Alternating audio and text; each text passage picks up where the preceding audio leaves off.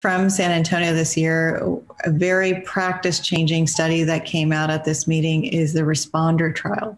So, this trial was taking patients who had hormone receptor positive disease with one to three positive lymph nodes and randomized them to get chemotherapy followed by endocrine therapy or endocrine therapy alone.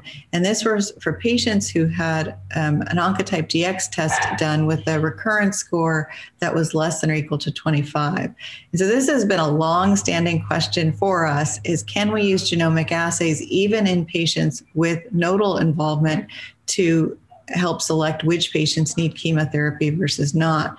Um, and the study showed that in postmenopausal women, there was no benefit to chemotherapy if your recurrence score was under 25.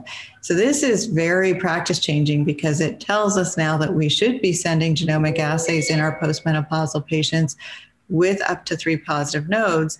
And again, if their score comes back under 25 with one to three positive nodes, there's no indication for chemotherapy.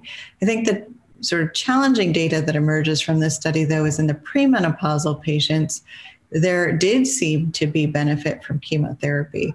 Um, so there's an absolute benefit uh, of 5% in terms of invasive disease free survival. And there was also a survival benefit of about 1%.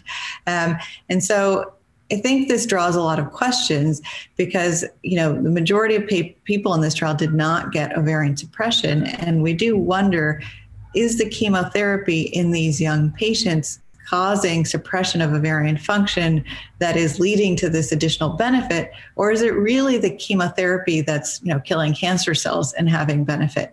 And it's hard to figure that out. You know when you look at we try to tease it out by looking at age um, which could help us understand the probability that the chemotherapy could have caused this change in ovarian function and there is some suggestion that that could be the case but we don't know if that's driving all of this benefit and so i think it's going to leave us with a lot of challenges in clinic about what to do for our premenopausal patients who have recurrent scores under 25 with up to three positive nodes.